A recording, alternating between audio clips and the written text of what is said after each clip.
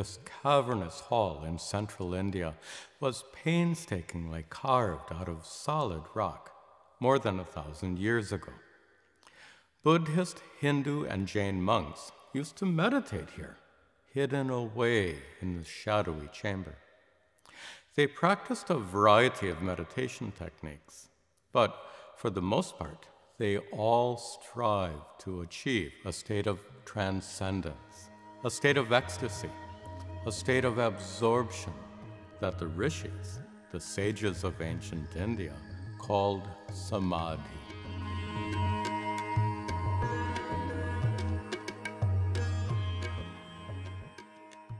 Throughout history, many have engaged in meditative and contemplative practices, seeking transcendent or ecstatic experiences. The word ecstasy comes from the Greek ekstasis, to stand outside, which means to escape the bounds of the material world, to break free from human limitations, and to reach a reality that's said to be transcendent or supreme.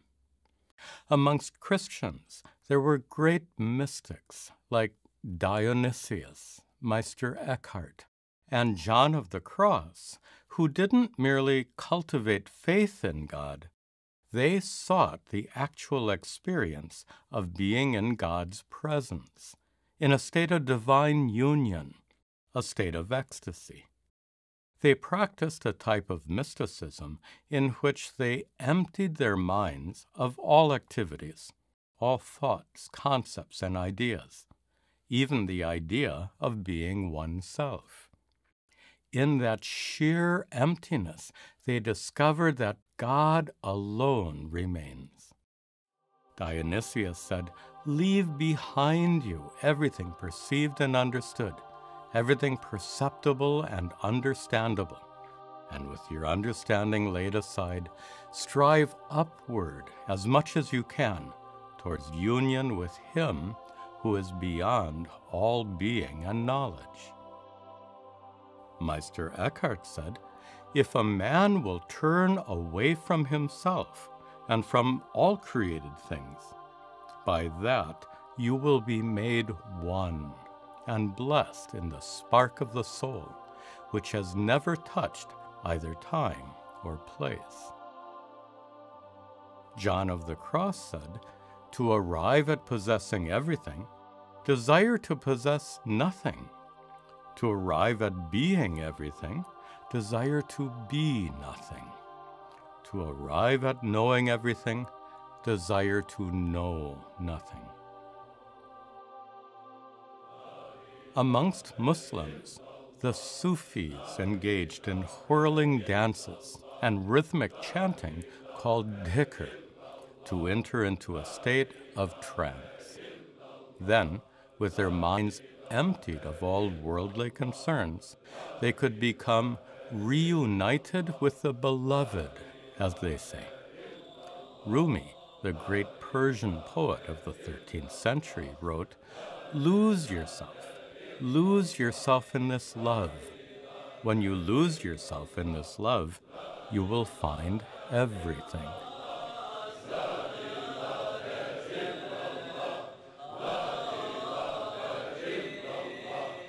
In India, many practitioners are guided by the teachings of Patanjali, the author of the famous Yoga Sutras. Patanjali taught that yoga is chitta vritti nirodha, the practice of bringing all mental activities to a complete stop.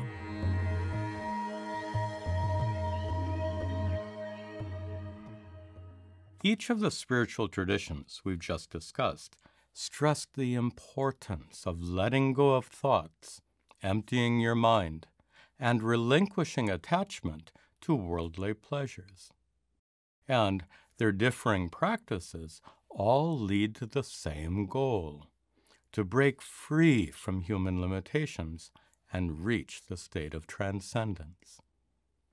I too was inclined to seek transcendental experiences even as a child. I remember a lovely spring day when I was lying down on a lush carpet of grass with my eyes closed. The sun's warmth seemed to hug me like a cozy blanket. The intoxicating fragrance of lilac bushes nearby wafted in the gentle breeze. The intensity of all those sensations overpowered me, pushing aside all my childish thoughts and immersing me in a state of blissful absorption. Years later, while hiking through California's rugged mountains, with each step, my mind would gradually drop its concerns about my job, home, friends, and everything else. Eventually, my mind would fall into a state of deep silence and remain absorbed in the exquisite beauty all around me. I should mention that in the late 1960s, when hippie culture was at its peak, I experimented with mind altering drugs like LSD. Such drug use is generally unadvisable, but in my naive and reckless way, I was seeking the same transcendence that I found lying on the grass or hiking in the mountains. Later, I learned yoga and meditation, which ultimately led me to undergo formal training under the guidance of a traditional guru. All this spiritual study and practice was driven by my burning desire for transcendence.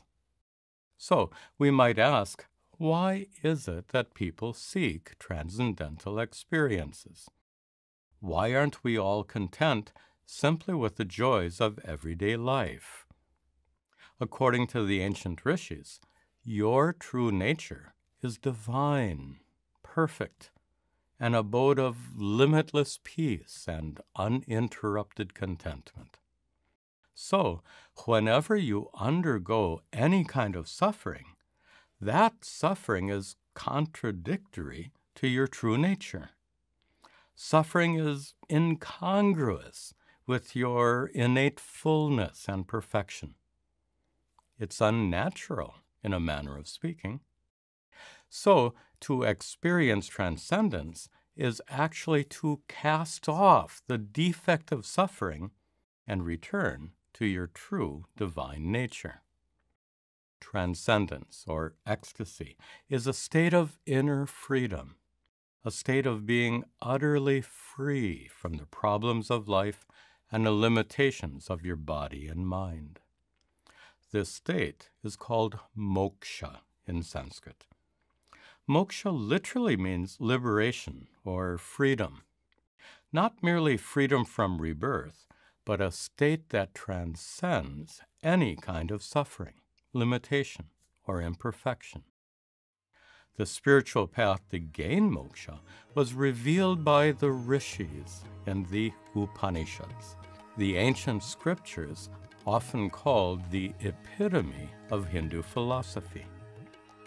The 2,000 year old Mandukya Upanishad is the shortest of all the Upanishads, yet it's one of the most profound.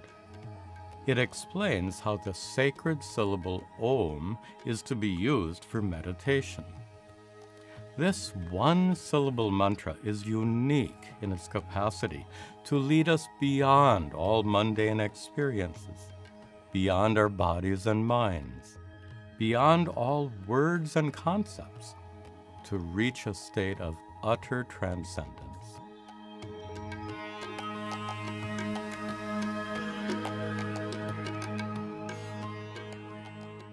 Om isn't like any other word or name. Properly understood, Om is a symbol, but not a visual symbol like a nation's flag or a company logo.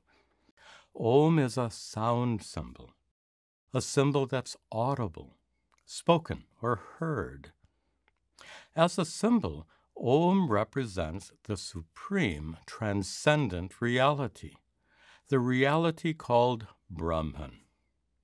The rishis taught that Brahman is the underlying reality because of which everything in the world exists. For the universe, Brahman is like the clay because of which this pot exists, or the threads because of which this cloth exists. Brahman is the very fabric of existence. The Mandukya Upanishad begins with the Rishi's representation of Brahman using the syllable Om. Om iti etad aksharam. The syllable Om, idam sarvam, is all this, all that exists, the entire universe. Tasya, about that syllable Om, Upavyakyanam.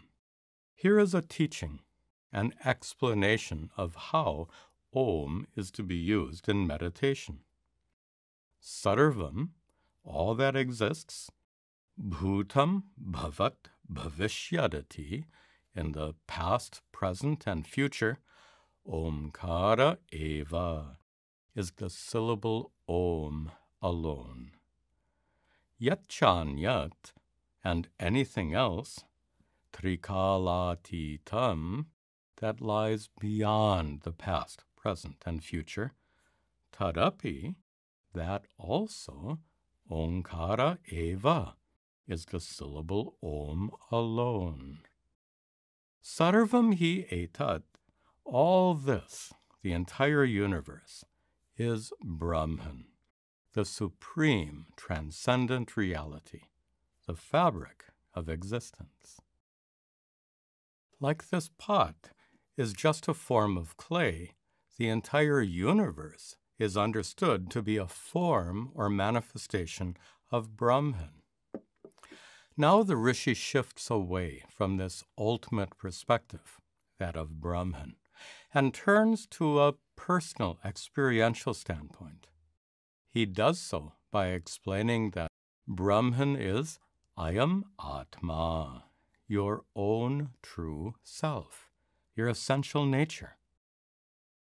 Atma is the consciousness that makes you a sentient, awareful being, the consciousness by which you know all your thoughts, emotions, and sensations. According to the rishis, that very consciousness is your divine inner nature, the limitless abode of peace and contentment. The true divinity of your consciousness might not be fully known or recognized by you. So its extraordinary nature is carefully unfolded in the following verses. The Rishi explains that consciousness makes you aware of all your experiences experiences that take place either when you're awake, while you're dreaming, or in deep, dreamless sleep. Due to your conscious nature, you become the observer or awareful witness of whatever happens in the waking state, the dream state, and in deep sleep.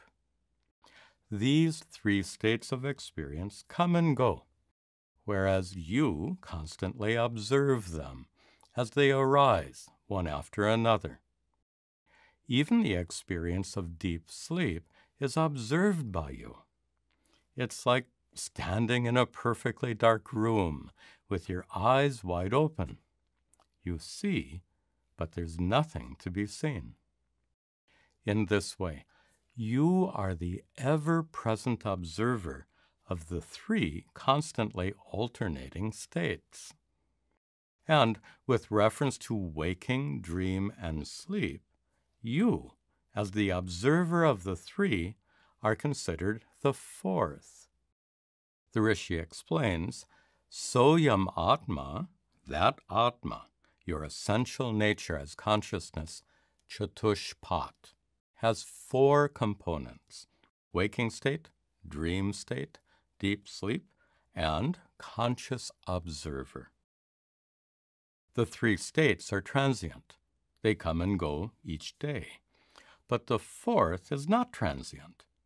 It's the constantly abiding awareful witness of the three. Traditional teachers of Vedanta are quick to point out that the fourth cannot be a fourth state of experience.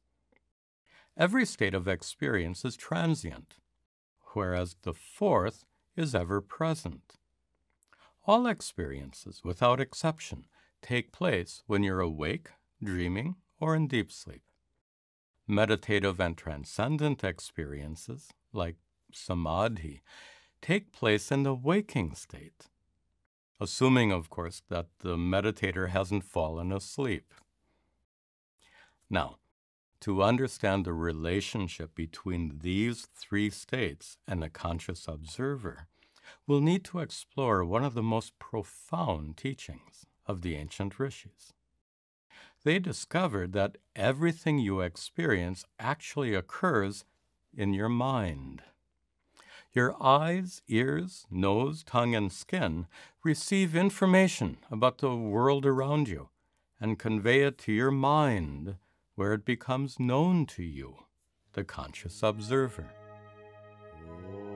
When Om is chanted aloud, its sound travels through the air and reaches your ear, striking your eardrum.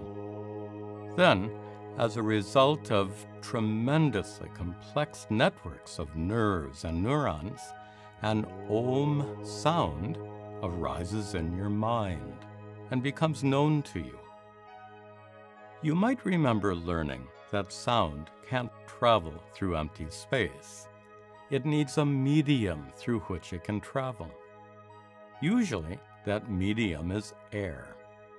Air is crucial because sound is actually waves of compressed air, waves that spread outwards from the source of the sound until they reach your eardrum and get converted into the sounds you hear. Based on this, we can say the sound Om begins as waves of air. Those waves travel through the air and eventually dissipate as the sound Om fades away into silence. It's much the same for the sounds inside your mind. The sound Om arises in your mind not as waves of air, but as waves or vibrations of consciousness, vibrations that you experience as sounds. In the teachings of Vedanta, those waves or vibrations of consciousness are known as vrittis, or mental events. The vrittis produced by a sound arise like a wave and vibrate in your consciousness until the sound fades away into silence. So, just as air is the medium through which sound travels, consciousness is the medium in which vrittis arise, even though consciousness isn't a material substance like air. A wave of water is made of water. Sound, which is a wave of compressed air, is made of air, and a vibration in your consciousness, a vritti, is made of consciousness. Every sight, sound, smell, taste, or touch that arises in your mind is a vritti made of consciousness. Your thoughts and emotions also arise in your mind as vrittis. They too are made of consciousness. And all this is true not just when you're awake, but for your dreams as well. The people, buildings, cars, and things you experience while you're dreaming are vrittis made of consciousness. Then, in deep sleep, all these vibrations come to an end. Vrittis all fade away, and the only thing left in your mind is pure consciousness. The final conclusion of the rishis is nothing short of amazing. Everything you experience in waking, dream, and deep sleep is made of consciousness. In fact, it's nothing but consciousness. And you as the awareful observer of the three states, are also consciousness, the very same consciousness. So, in every experience, there's only consciousness, consciousness alone. This, indeed, is the profound truth of Advaita, or non duality, the loftiest teaching of the ancient rishis.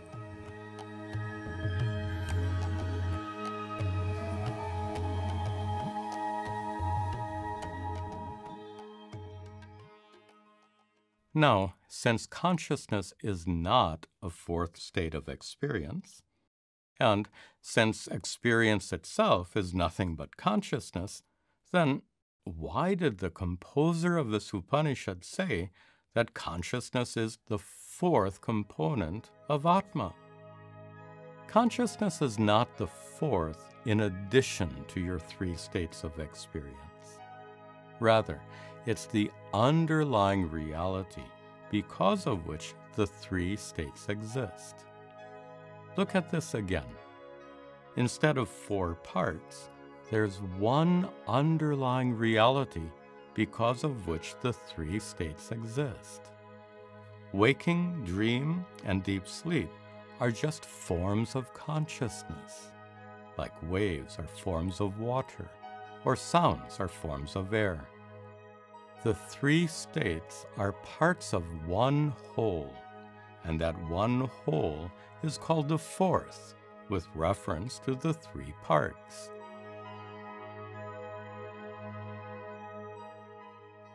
Now, in the next part of the Upanishad, the Rishi associates these four waking, dream, sleep, and pure consciousness with the syllable Om. He does so by dividing Om itself into four parts. How can you get four parts out of a single syllable? Well, the vowel O can be grammatically deconstructed into A followed by U. So then we have A, U, and Ma. But what about the fourth part? Remember that Om is a sound symbol, and when you repeat it as a mantra, there's a gap after one Om ends and before the next one begins. So the four parts of Om are A, U, Ma, and the gap of silence between repetitions. By the way, it's absolutely incorrect to write Om like this. It actually violates rules of Sanskrit. Om is represented here as Ah U Ma to introduce a particular meditation technique, not for the sake of writing or pronunciation. In this meditation technique, A represents your waking state. U represents your dream state, and Ma represents your experience of dreamless sleep. The gap of silence between repetitions of Om represents pure consciousness. Each time you chant Om, A is followed by U, and U is followed by Ma. This sequence of sounds represents your daily experience in which the waking state is followed by dreams and deep sleep. The repetition, Om, Om, Om, represents your experience day after day as the three states come and go, one after another. And the gap of silence represents pure consciousness, the consciousness that's the underlying reality because of which the three states exist. The Rishi describes this consciousness as adrishyam, imperceptible, avyavaharyam, non relational, agrahyam, ungraspable, alakshanam, indefinable, achintyam, unimaginable, and avyapadeshyam, inexpressible. Because consciousness is the awareful observer, the knowing subject, it can never be an observed object. And because consciousness isn't an object, it has no shape or color, no size or weight, no qualities or attributes whatsoever. And since consciousness has no qualities or attributes, it can't be described like an object. Yet, even though consciousness cannot be described in this way, it's immediately present in all your experiences as ekatma pratyaya saram, the consciousness present in every experience, the awareful medium in which every vritti vibrates. Further, that consciousness is prapancha upashamam, eternal, existing before the world and after its end. That consciousness is shantam, peaceful, content, tranquil. And it is shivam, pure, holy, auspicious. Consciousness is the divine presence within you. Finally, that consciousness is Advaitam, non dual. It's the one underlying reality because of which your three states of experience exist. That consciousness, Chaturtam Manyante, is called the fourth. Sa Atma. That is your true self, your essential nature. Sa Vigneyaha. That is to be known, to be discovered, to be realized. Wow, I've studied this passage many times, but I still get a thrill when I read it. The Rishi says Atma, your true nature, has to be discovered. It has to be realized. So, the ultimate goal of meditating on Om isn't to merely enjoy a transcendental experience. The goal is to realize your true nature as eternal, pure, non dual consciousness. An experience that comes and goes without producing an insight can never lead you to moksha, liberation, no matter how profound or ecstatic it might be. If sheer experience were enough, I would have become enlightened as a child lying on the grass. Yet, transcendent experiences are indeed crucial because they can create an opportunity for you to discover what the rishis discovered. And when you have realized your essential nature to be eternal, pure, non dual consciousness, then all suffering comes to an end.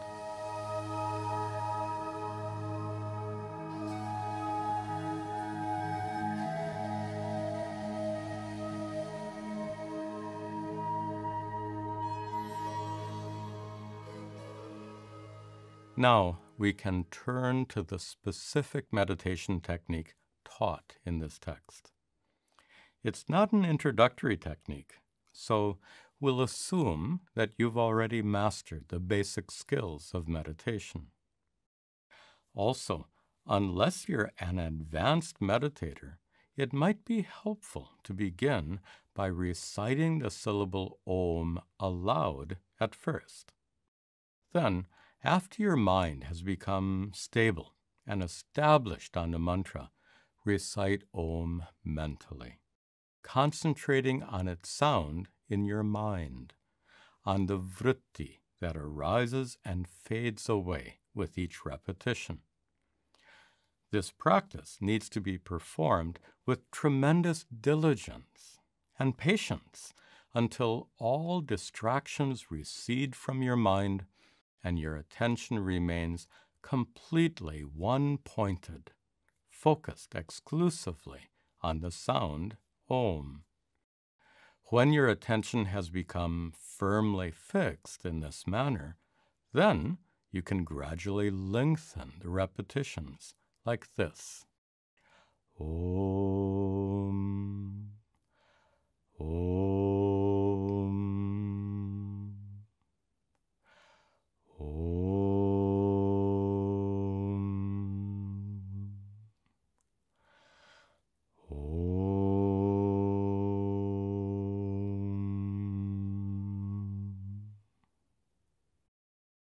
With enough effort and practice, you can eventually reach a state of deep absorption in this way. And then you'll be ready to begin the process of contemplation prescribed in this Upanishad. As the sound a merges into u, contemplate on being the conscious observer of the waking state as it merges into dreams each night. As the sound u merges into ma, contemplate on being the conscious observer of the dream state as it merges into deep sleep each night. Then, as the sound ma trails off into silence, contemplate on being the conscious observer of all three states as they come and go, day after day, throughout your life. Finally, in the gap of silence, contemplate on your true nature being eternal, pure, non dual consciousness. That's the ever present observer of the constantly alternating states of waking, dream, and sleep. The purpose of this meditation is to help you more fully appreciate your inner essence as pure consciousness, eternal and transcendent, beyond suffering of all kinds, remaining unscathed even by the most terrible events in life. Consider this air isn't fundamentally affected by the sounds that travel through it. Sound compresses air into waves, but all the minute molecules in the air remain unchanged. When a sound arises, whether it's the sacred syllable Om or the deafening explosion of a terrorist's bomb, or the laugh of a little child. The air through which these sounds travel remains unchanged.